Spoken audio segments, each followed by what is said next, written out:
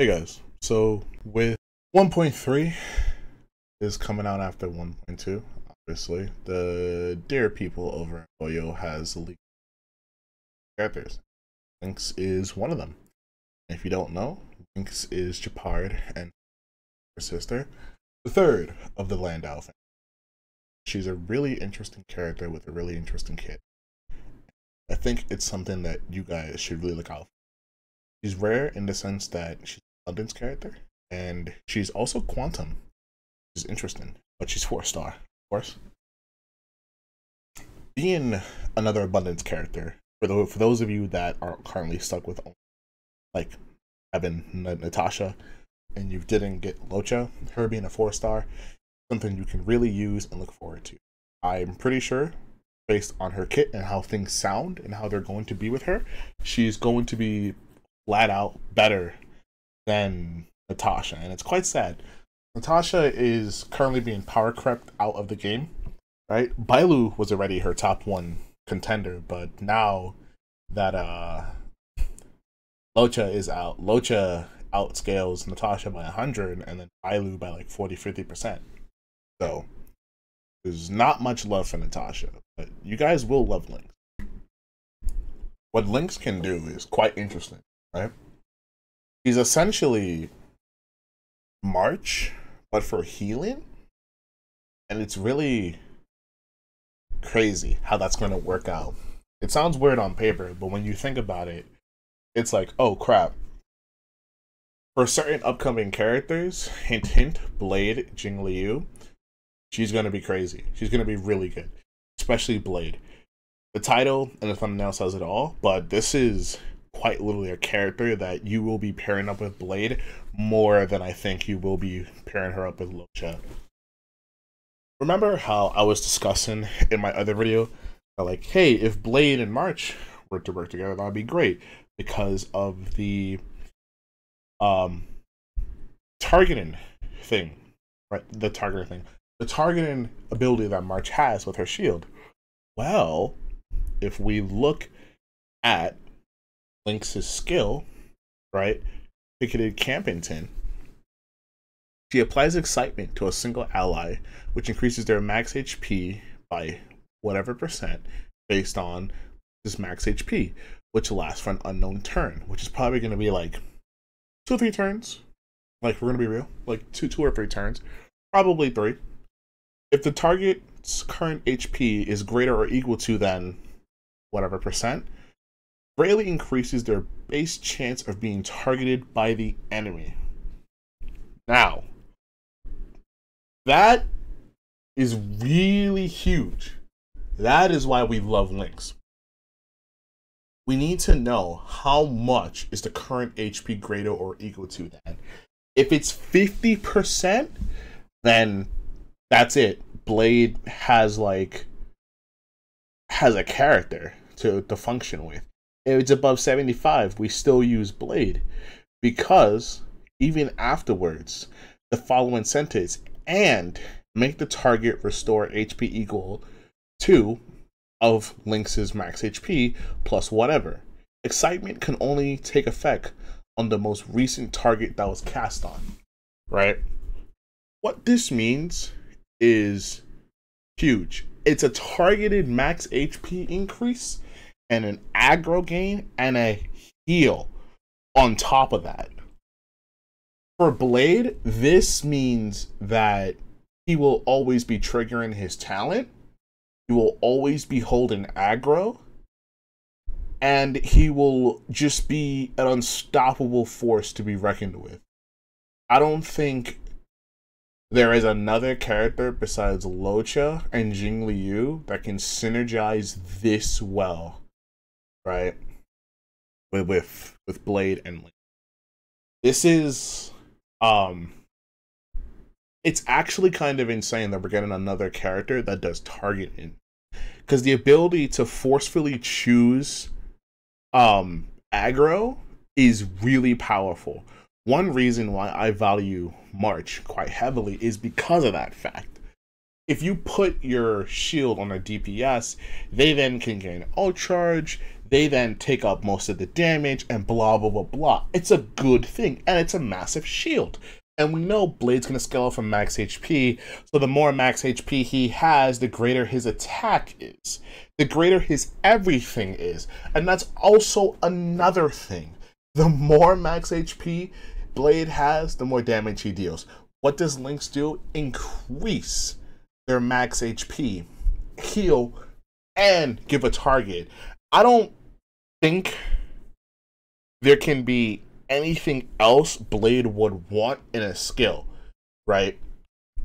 For example, if you put Clara's light cone, clone, Clara's light cone, and Lynx together with Blade, Blade is actually unkillable because Clara's light cone it gives him a small amount of healing, but the defense he gains and the attack boost that he gains is like, bro, he becomes such a tank.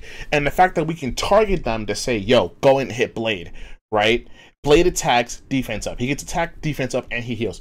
Like, he is such a massive wall that it's like any battle you're in, it does not matter. Blade is out surviving them. We already knew Blade was going to be a monster already, but with this, oh, with this, it just like ensures that Blade is never dying. And I'm pretty sure this makes it so that Blade actually can't die in some way, right? Because Blade, we know that he just flickers his max HP back and resets it. So it's like, what does this really matter, you know? Like, I can take all the damage I want and I'll be fine. Now, if if excitement has a cleanse, then oh my god, that's just insane. And speaking of cleanses, we go to the oh Snowfield First Aid Knowledge dispels all debuffs on allies and restores HP for all allies equal to Lynx's max HP, whatever. The dispel all debuffs. That is a huge sentence right there. Because Luocha, Luocha, Natasha, March, they can only dispel one debuff at a time. But with this, dispel all debuffs on all allies? Oh, I don't think I'm going to be able to control myself with this character. Lynx and Blade, it's going to be a real ignorant combination, and I'm so excited for that. This is a combination that I really want to have happen. I must play with these two characters, knowing what they're going to do. Because, like, let's say we have Jing Liu, Blade, uh, Lynx, and, um, hold, hold on. Let, let, let, let's actually go real quick. But yeah, if we build a team of, like, Lynx, Blade, and then we swap in there for some, like, Jing Liu, and we know that with that team, right? We know that those three already synergize with each other. Jing Liu, when, the, when she enters her trance, it triggers Blade. Blade will then trigger his talent. Lynx can then target Blade, so Blade will constantly be sapping his HP, healing, and also triggering, trig- triggering his talent. With this team, Blade has a reliable way to constantly dish out DPS. Jing Liu doesn't have to worry about killing her teammates too much, and Lynx can dispel and have that emergency heal anytime she wants. Like, this character already does what Natasha does, and she just does it better. Then, if you take a look at her talent, while she's casting her skill or her ultimate, she restores HP for whatever turns. At the beginning of each turn, restore HP equal to whatever percent of Lynx's match HP for all for allies with excitement. Restore additional HP of Lynx's max HP.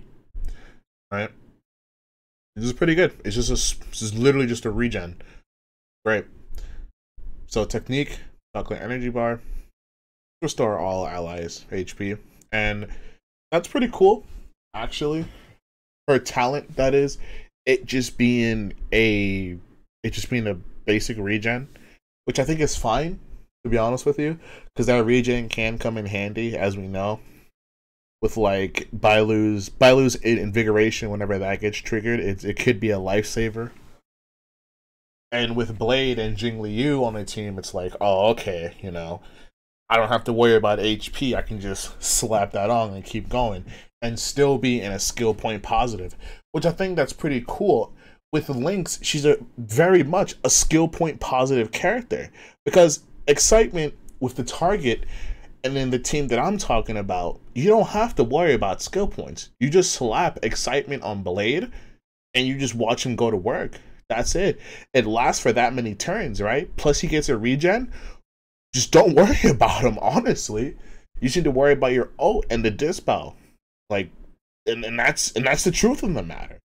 Skill points don't matter with Lynx in this team. For traces, when an ally with excitement is hit, Lynx will restore energy. That's pretty cool. Builds up her ult faster. Then her next trace at the beginning of each turn dispels buff on self. What? She dispels a debuff on herself at the beginning of each turn? That's like a trace you would see on a five star character.